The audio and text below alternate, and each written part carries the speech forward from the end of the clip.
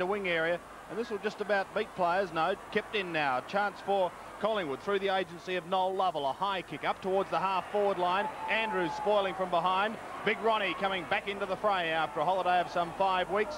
Over the top goes Williams, and I think the free kick, in fact, it was Tony Beers has given away the free kick. So a chance for the Bombers, and it's Duckworth who receives the handball. Goes with a good-looking drop punt up. Looking for Madden, trying to do it from behind. Pushed over the back, Van der Haar. The handball further forward for Watson. He flicks it on towards Heard. Can't control it. Sock it off the ground, though. And it was socked off by a Collingwood player. So one point over. Great crowd. Great atmosphere, Peter McKenna. Tremendous atmosphere, as usual. The And the loyal Collingwood fans, even though they're down, coming out in their their droves. In fact, there was some talk about the gates being closed uh, five minutes ago. There's Teasdale. Can't take the mark. Over the back of Stoneham. He, oh, oh, he copped a very high one pushed over the shoulder, said the umpire, and Alan Stoneham will take the free kick on centre wing. Immediately gives the hand pass across to Clark. Clark goes short towards centre half forward. Oh, strong play there by the Collingwood backman. And finally, it's Taylor kicking it down towards centre half forward. The ball thumped away, back to the centre of the ground. Going through as an ear. He gets bundled out of the way. Strong player. The player's very desperate. The umpire's picked out a free kick, and it will go to Collingwood through the agency of Lovell. Lovell with a hand pass over to Graham Allen, and Allen streams towards the half-forward line. He gets his kick in, down after he kicked it, no free kick, and rightly so, towards the forward pocket. Over the back of the packet comes and forced over the line and out of bounds. Throw in in Collingwood's left forward pocket. Essendon with one point on the board. As Peter said, a capacity crowd. Walsh could have just about given away the free kick on that occasion, taken over the line once again by Neil Clark. He will be remembered for his sortie into the forward lines last week. A gimme goal and Essendon victory.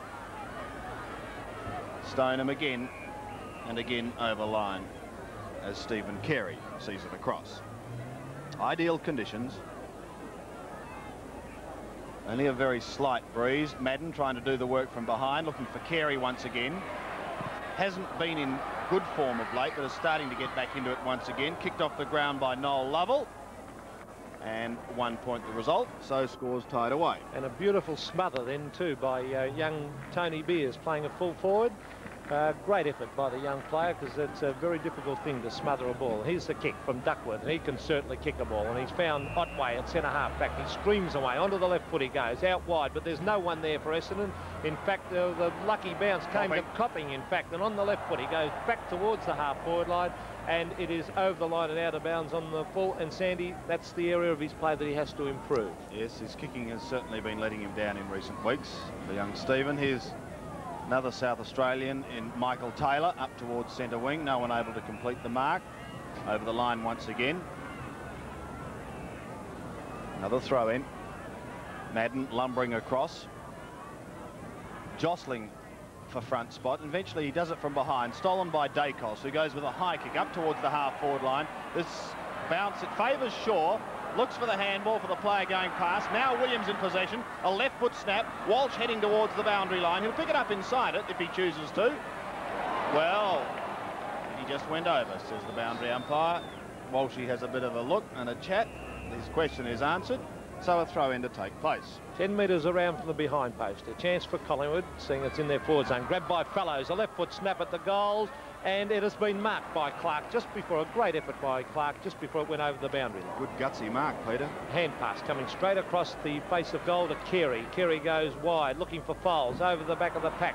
A race towards the boundary line, and it beat both players. The Collingwood player there was Miles with Foles, and over the line out of bounds, almost on centre wing. The turf at Windy Hill in mint condition. Here's the throw in. Williams waiting at the back. Immediate opposition, however, takes it away up towards Stephen Copping. He can't take it. The high kick going back towards that half-forward line, but again, it is Daniher who takes the mark. He plays on, heading play in towards oh. the centre, waiting at the back, luckily could be Shane Heard, gets the handball across, Stoneham's in trouble, so back to Big Ronnie. Kick it, Ronnie! He does, and listen to the crowd. Up towards half-forward, man in front, Stewart, caught, too slow. Buhagiar waiting. A hurried kick off the ground by Foles. Over the top, Van der Haar, but it's the player in front. McCormack. And it will be taken by McCormack at centre half back. Good mark by Peter McCormack too because Manaha had the sit. There he goes, looking out towards centre wing and a good mark taken down there. And it looks like Derek Shaw. Shaw swings onto the left foot, down towards centre half foot. A shocking kick on that occasion. And the mark has been taken down there back half-back flank by Terry Daniher. He goes towards centre wing. Over the back, it's Ricky Barham. Traps the ball. Beautiful hand pass out wide to John Annear. Annear goes long towards full forward. Walsh is there for Essendon. He goes back. Can't take the mark. And the umpire said there was a shove out. And in fact, it's Billy Duckworth to take the free kick at full back.